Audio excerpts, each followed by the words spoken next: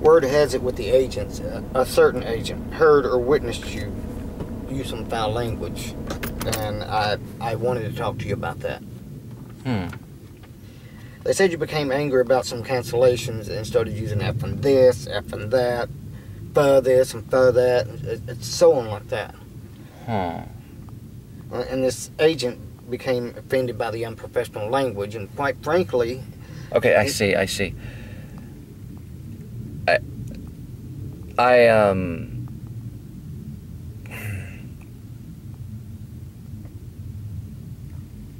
You can't say who. uh, no. I need you to watch what you say on the sales floor and keep your language professional and clean, okay? So yeah, yeah. I. I have to admit, um, I'm guilty, and it's because of my grandfather. Um, my grandfather raised me, and um, he he served in the Navy during World War II, and he uh, he kind of cursed a lot around the house. He kind of you know he, he cursed a lot, and uh, he kind of wore off on me, and I have to admit uh, that my professors and, and, and colleagues in college have known they know that I, I use the F word quite often. I mean, here and there, and really too much. And and I, I admit to this. I, I'm, I'm guilty, and I do apologize for the unprofessionalism. Okay, well, just keep it professional, okay? Oh, yeah. And one more thing. Another issue. Supposedly, there was some racial slander about some racial slurs. Hmm. Uh, yeah. Really? Yeah. Could I? What race? Um, some issues that may have been Jewish slurs. Jewish slurs? I'm not an anti. I'm not anti-Semitic. Submit it. Yeah. Just, just keep it professional, okay? Semitic. Yeah. Um. I see. Uh. I'm sorry about that. Uh. Yeah. I, I, now wait a minute. I.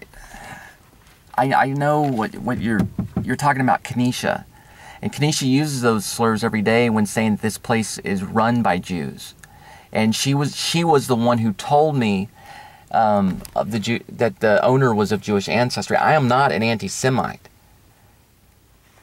I mean, I, I, I, I, was. I've been in show business all my life. I, I studied theater in college. I have colleagues that are Jewish. I, I, I, was only my, my best friend was Jewish. I went to his brother's bar mitzvah, and I was only eh, saying that to fit in with Kenesha's lingo. You know, how do you how do you know that that I'm not Jewish?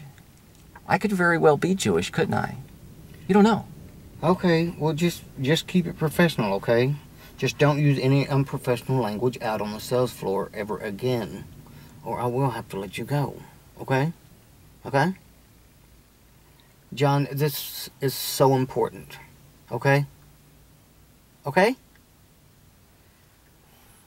Yeah, I'm I'm, I'm sorry about this. Um, Okay, well, you can go back to your, your cubicle now. okay. Um. Yeah, it'll, it'll never happen again. Okay, well, John, you, you know not to use unprofessional language again, right? Yeah, I'm sorry about this. i it's very clear to me. Good. Thank you.